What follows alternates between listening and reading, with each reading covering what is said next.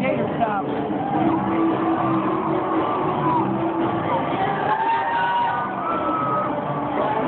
I was really glad that that guy worked here. I just thought he was walking around with water